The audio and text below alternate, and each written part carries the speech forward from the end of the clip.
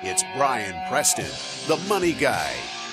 I can already, you know, when when Morpheus and Reby are naming this, this is going to be the segment, the highlight clip that gets the most comments. Right.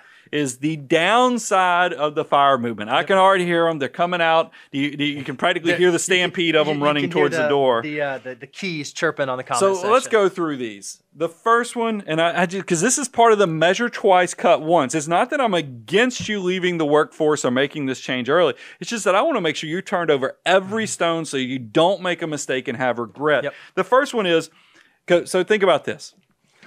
Oh gosh, I mean this is the visual. I already know where this, al- this analogy because I talked about it in pre pre show.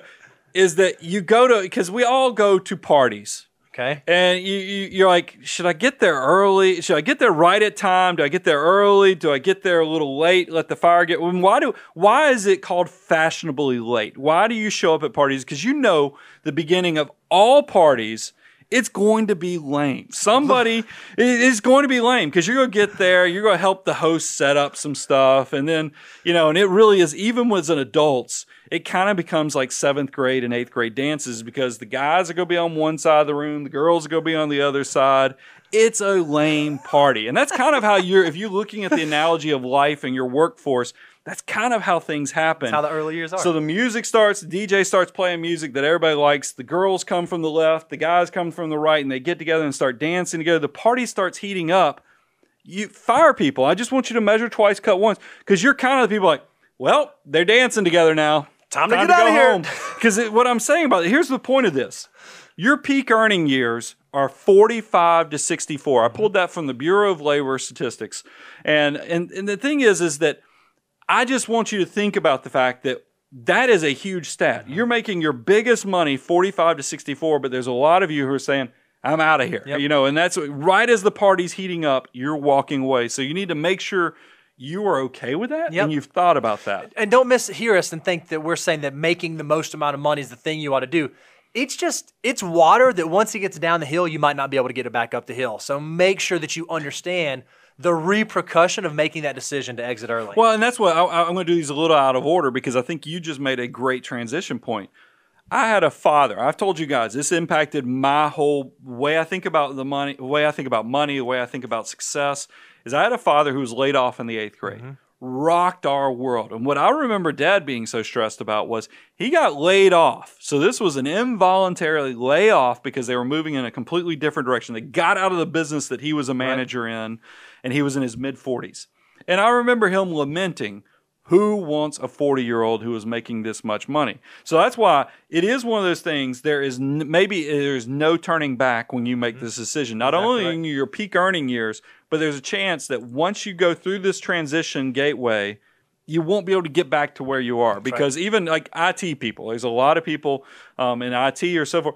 A year and a half, two years, the technology has changed, Changed. changed on Yeah. you. So, so, so think about those things, and that leads to, and, and this, this is a great segue. I didn't plan for this. We should have done this in pro, pre-prep. no, no, I had it all But- up here. This was all on purpose. But here's the other thing. I will tell you guys, I am now old enough. I'm in my, getting to be in my mid to late 40s, and I've been in the industry. I'm in my third decade Mm-hmm. of doing this. And look, we talk about 10,000 hours. 10,000 hours to become get mastery, to become an expert. For some professions that require, you know, education, experience, you might not be able to actually start making your footprint stand out or your your fingerprints all over the industry as a whole until you're 20 years into right. it, 25 years in. I finally feel like my voice is making an impact in the financial Mm-hmm. world. So I don't know that I have, and this is this is just a philosophical thing. I want people to think about if, you, if this matters to you, if you're working in some type of field where you have impact on, as an expert in the profession.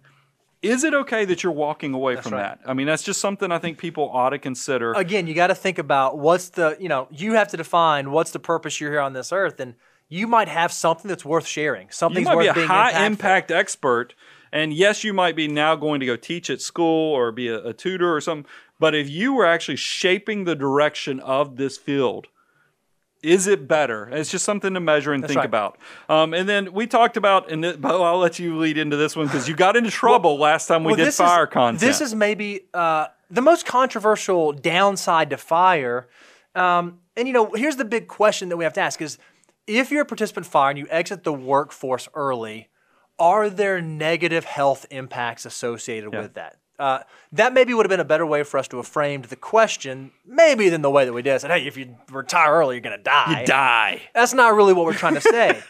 However, you know, anecdotally, and we both have personal stories. We've worked with clients, we have loved ones and family members.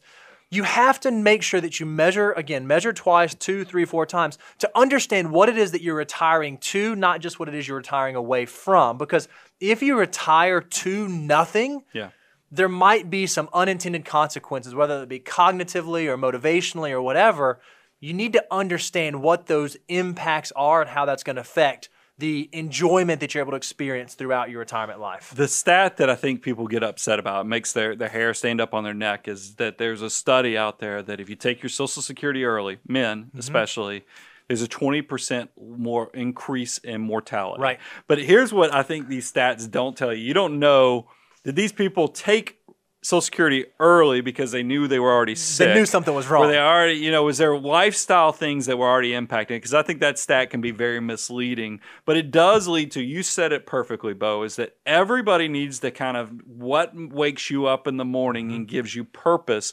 We had Fritz on from the Retirement Manifesto, and he was so generous to us that if you go out to moneyguy.com, we have a brand new resource section, and Fritz eh, eh shared with us the 10, compam- 10 commandments of retirement. Mm-hmm. You got to go download that if this is something you're considering because it talks about one of them is know what you're retiring to and even Yep. get into hobbies and other things before, Before you, you do it, that's retire right. so you're not just waking up thinking a, a good retirement plan is not the first two months I plan on watching all Judge Judy all the time. Not going to be a fulfilling Right. retirement. You got to know what you're working towards. And Bo, that's probably a great segue.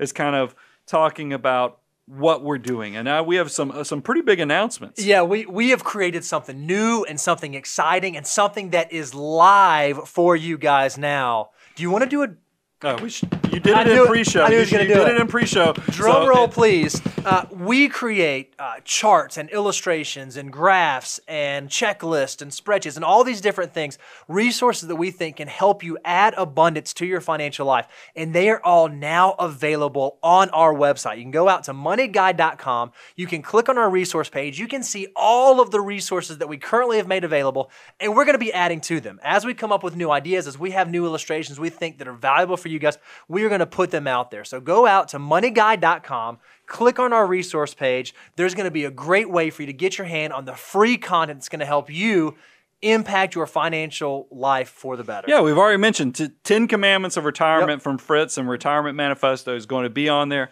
A lot of the stuff when I talk about the dollar turning into 88, you know, the power of compounding, that stuff's out Mm-hmm. There. There's so many things that you got to go to moneyguy.com and get this resource. This also helps us we logistically sending out the email updates. This is so much better if you just get it on your own time when you want it That's right. instead of creating some process and burying it in your email inbox somewhere. Now you just all 24 7, seven days a week. I mean, we're like Waffle House. The resources are there. So keep it going. so We're that like leads Waffle to, House. well, you, you said it. Use the word abundance. Mm-hmm. When we have this whole thing internally, we talk about the abundance cycle where you come here, we completely give it away. I had a troll. This, this guy crawled out of a bridge, was beating up on us. And I was like, guess what? Check's in the mail. I'm sending you the refund check for what you paid. and, you know, and I can say that very comfortably because we give away tons of free advice. This is your resource. You come and it's part of the abundance cycle. We give it away for free on purpose because we want you to come, learn, apply, uh, grow, and then at some point you're going to reach such a level of success. You go, I can't do this on my right. on my own anymore, and that's when you'll say, I need to have somebody that can help me do this. Measure twice, cut once. you go think about the Money Guy Show and the financial planners from Abound Wealth. That's right. And that's that does complete the abundance cycle. And we could not do this without you guys. And we feel so appreciative.